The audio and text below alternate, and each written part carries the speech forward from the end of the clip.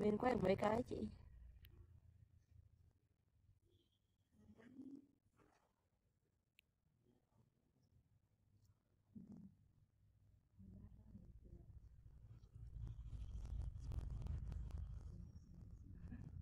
Mình nhìn sớm luôn đấy này